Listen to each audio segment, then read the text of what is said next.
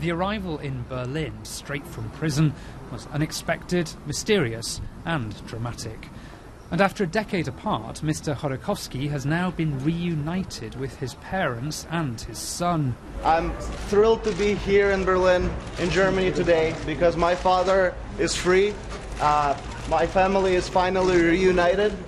The big mystery is why President Putin chose now to release Mr. Khodorkovsky with Russia increasingly under fire for its human rights record, one theory is that the move could be intended to boost the country's image abroad. While in the West, the former oil tycoon is portrayed as a freedom fighter, in Russia he's seen by the political elite as a corrupt criminal. Where else could he go? There's no place for him in Russia anymore. He will not be allowed to live a normal life here. In Berlin, meanwhile, there's excitement about Mr. Khodorkovsky's arrival.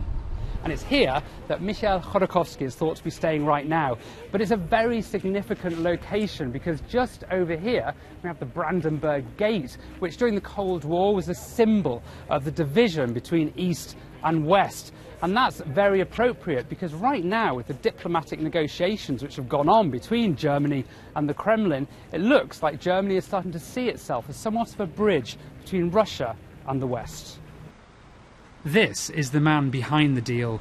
For years, former German Foreign Minister Hans Dietrich Genscher has been working behind the scenes to secure the release. With close trade and economic links, Germany is Russia's most trusted partner in Europe.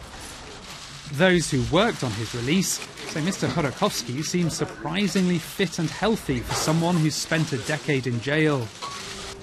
Now, everyone is waiting to hear from Mr. Khodorkovsky himself on Sunday, when he will appear before the world's press for the first time since his release.